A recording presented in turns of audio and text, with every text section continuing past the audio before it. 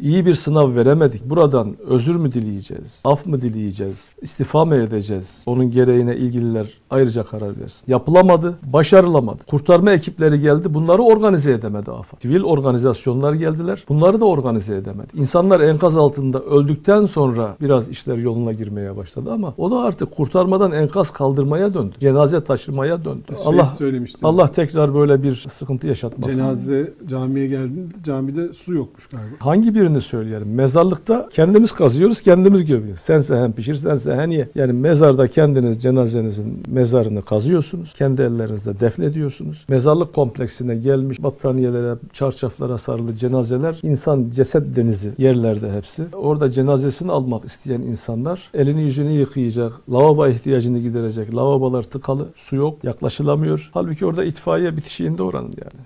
İki tank su dökülse depolara hepsi çözülecek.